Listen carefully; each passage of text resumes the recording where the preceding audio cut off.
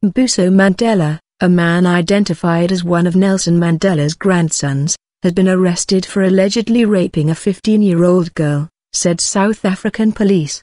Mbuso Mandela, 24, is in police custody and will appear in a Johannesburg magistrate's court on Friday for a bail hearing, said police spokeswoman Brig.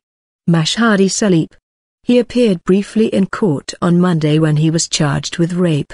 The rape allegedly took place at a restaurant in Greenside, a Johannesburg suburb, on August 7, Selepe said.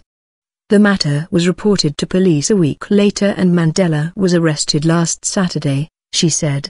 Mbuso Mandela is one of late statesman Nelson Mandela's 17 grandchildren. Mandela died in 2013 at the age of 95.